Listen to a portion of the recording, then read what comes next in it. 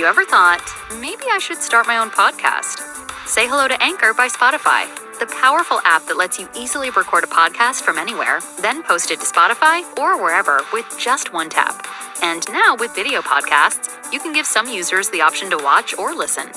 Head to anchor.fm slash get started or just tap the banner to begin recording in minutes. Your story matters. Make a podcast with Anchor. That's anchor.fm slash get started.